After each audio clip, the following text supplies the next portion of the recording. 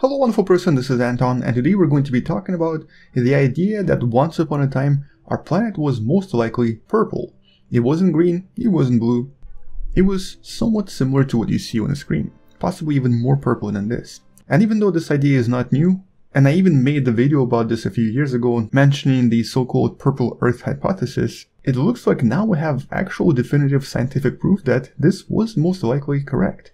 Earth was indeed purple, and there is a very interesting explanation to all of this. So let's talk about this in more detail. First of all, it shouldn't really come as a surprise that back in the days, billions of years ago, Earth looked completely different. Yet another previous video even describes at least 5 different faces our planet used to have. But today we're talking about one specific stage that I'm going to try to create right here.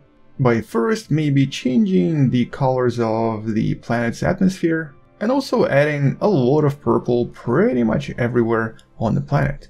Now obviously the continents here were not like this either, they were completely different as a matter of fact. But here it's all about the color right now. Although in this case even the water should be purple, so this is not even the perfect representation of what all of this looked like. But for many many millions and possibly even billions of years, planet was somewhat similar to what you see on the screen. And then it suddenly transformed into what it is today becoming the blue planet, or technically blue and white planet. Now, what exactly happened approximately 2.4 billion years ago that could have led to this? You might already know the answer. It was the so-called Great Oxygenation Event. The sudden increase of oxygen in the atmosphere that today we believe was caused by the evolution of new bacteria, specifically cyanobacteria, the same bacteria that's responsible for producing the oxygen on the planet right now, by using photosynthesis and by converting the solar energy into chemical energy that other animals can use. Now photosynthesis is something we all learn in schools and we're all kind of to some extent familiar with it. Basically many different plants and cyanobacteria use it everywhere on the planet and produce oxygen and of course produce other things like sugars. But in this case, what we care about is the idea of converting the energy from the sun into the chemical energy, into something we can use on Earth. And obviously in schools we learn about how trees convert CO2 into oxygen, but one thing we don't learn in schools that a lot of scientists have been discovering for the past few decades is that you don't really need oxygen for photosynthesis, because the main function of oxygen in this case is capturing electrons and allowing for this electron process to essentially lead to other chemical reactions. But we know that there are so many other elements that can also quite successfully capture electrons as well. There are a lot of different theoretical papers that propose that we can use, for example, hydrogen. This is a typical hydrogen cloud somewhere out there in the galaxy. We can also quite as easily use iron, so somewhere out there there could be some sort of life using iron for photosynthesis. We can also use sulfur, which is an excellent electron acceptor as well. Or we can use arsenic. Arsenic, as you might already know or have heard of before, technically is a toxic element, at least to humans. We also normally use arsenic for, for example, different herbicides and insecticides, so in some sense, it's a poison. Arsenic is kind of dangerous. But nevertheless, it's a pretty good electron acceptor as well. And so there are theories and papers proposing that maybe arsenic can be responsible for the action of photosynthesis somewhere out there. But of all of these elements, which could have been used by the life on early Earth and which could have turned it into a purple Earth? Now, for many years, scientists believed that it was most likely sulfur and a type of a purple sulfur bacteria that was responsible for essentially producing all sorts of sulfurous compounds on the planet. But because they weren't very efficient, eventually the cyanobacteria using oxygen kind of won the competition, and because these bacteria were very effective and very efficient in producing oxygen, eventually the oxygenation event caused all of the other bacteria to either disappear or to hide somewhere where there was no oxygen. But turns out that maybe, just maybe, it wasn't really sulfur. As a matter of fact, several papers started questioning the idea that maybe it was arsenic after all.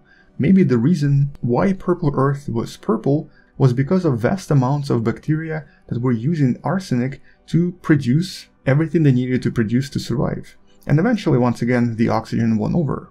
And although arsenic can be toxic, it's also in certain ways, at least when it's turned into organic arsenic, becomes beneficial. For example, in the US today, quite a lot of farm animals are fed different types of arsenic compounds to make them grow bigger and stronger. Now, I personally will be very, very cautious about eating this, especially because there are studies suggesting that this organic arsenic then can turn into other arsenic that's poisonous to us. But that's not really the point right now. The point is that arsenic is used by life quite actively, and there are several types of different organisms that depend on arsenic compounds for survival. And so naturally, you'd expect some other bacteria out there to use arsenic for life as well.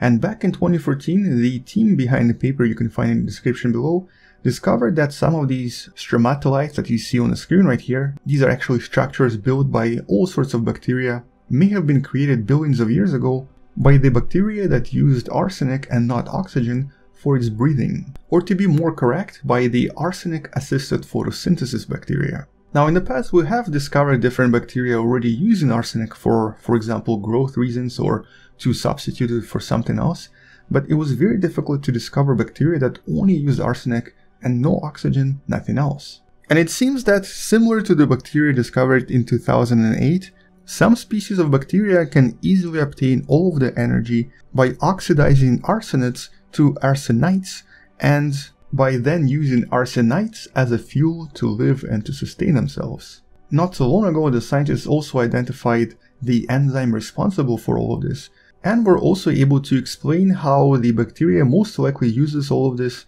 to survive, to breathe, to produce energy instead of oxygen. But so far, all of these are just separate clues. None of them really give us a definitive picture. And that's of course until the recent discovery coming from South America from one of the most inhospitable places on Earth. The place known as the Atacama Desert, the driest place on Earth and also the place with some of the highest ultraviolet activity on the surface of our planet simply because it's elevated compared to everything else. Although to be fair, it's also an extremely beautiful and absolutely stunning place that I would love to visit one day. A place that has some of the most incredible looking locations, something that looks almost like out of a science fiction movie. And from what I hear, people are also great as well. But that's for another video. For now, we're talking about what they found here. Completely by accident, the scientists behind this paper found a tiny stream that contained a strange sample of purple bacteria on the bottom.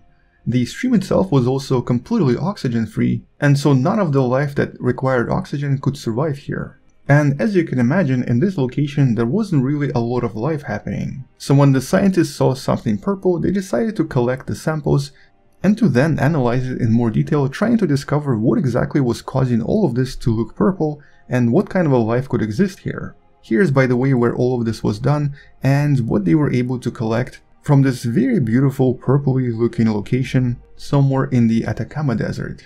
And as you can probably guess by now, They've discovered the bacteria that used nothing but arsenic, and they were also producing these rocky stromatolites that you see on the screen using all of the chemical reactions and all of the enzymes I previously mentioned.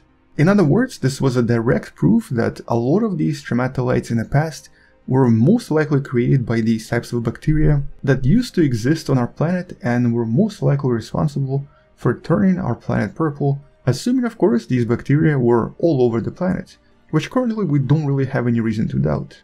On top of this, when the scientists tried to study these bacteria in the lab, they discovered that they used or produced absolutely nothing but arsenic and no oxygen was involved anywhere in the reaction, which of course also means that this is some of the most ancient life on our planet and is also most likely the precursor to everything on the planet as well, and is also a strange survivor of the event that seems to have destroyed pretty much everything on the planet that wasn't able to survive on oxygen.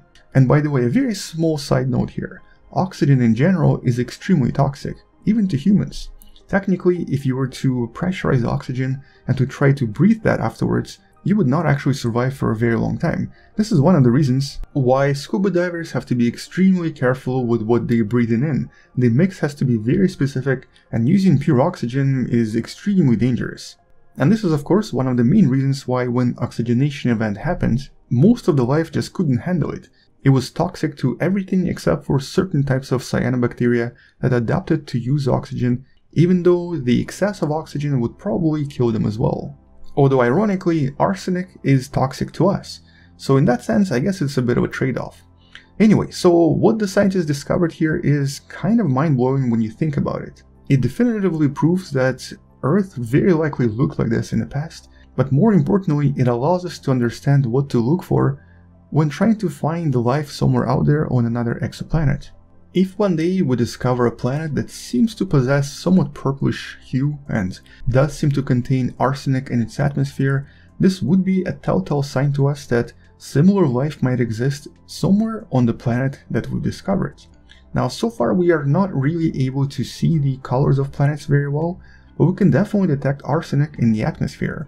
This is something that we're going to be able to do with some of the telescopes such as James Webb Telescope that's going to be operational relatively soon. But personally, I'm more excited about the discovery itself. To me, this is a definitive proof that Purple Earth is not hypothetical anymore. It's something that most likely happened, and it's something that might exist somewhere else out there in the galaxy. But until we learn more about the Purple Earth, or until we discover some other unusual and interesting bacteria on the planet, that's all I wanted to mention in the video. Check out the paper in the description below, subscribe if you still haven't, share this with someone who loves learning about space and sciences, maybe come back tomorrow to learn something else. Maybe support this channel on Patreon or by buying the wonderful person t-shirt that you can find in the description below. But either way, I'll see you tomorrow, space out, and as always, bye bye.